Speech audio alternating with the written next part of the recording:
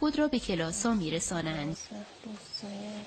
این شغل ایجاد شده برامون منبع درآمدیه برای خانوما ما می‌خوایم رو گیوه های این سبک کار کنیم اینجا یک کارگاه آموزش و تولید گیوه بافی در روستای قوری قلعه روانسر است. حدود دو ماه میشه کار گیوه بافی رو شروع کردیم. الحمدلله خوبه. کارش به نتیجه رسیده. بانوان بعد از آموزش تولیدات خود را در روستایشان که همواره پذیرای گردشگران است به فروش میرسانند.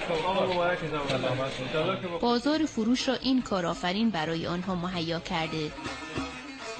ما دست گذاشتیم رو نقاط گردشگری در سطح منطقه از جمله روستای قره و حجیج.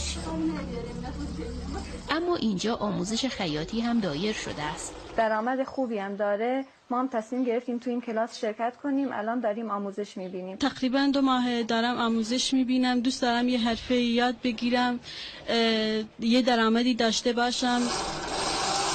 پیش از این بیکاری بعد از فارغ و تحصیلی دختران روستا را رنج می‌داد.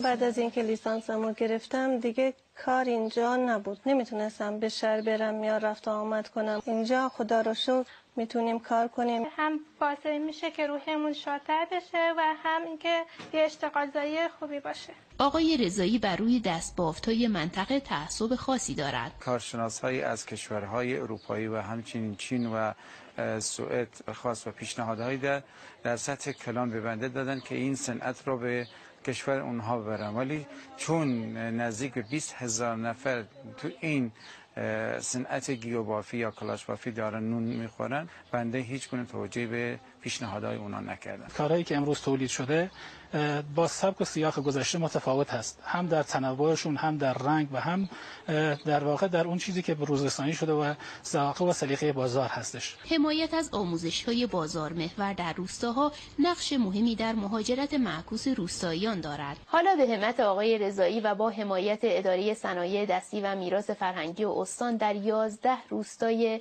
منطقه اورامانات نظیر این کارگاه ها دایر شده که حدود 180 نفر از بانوان در آن مشغول کارند. پروین شهسواری خبرگزاری صدا و سیما روستای قلی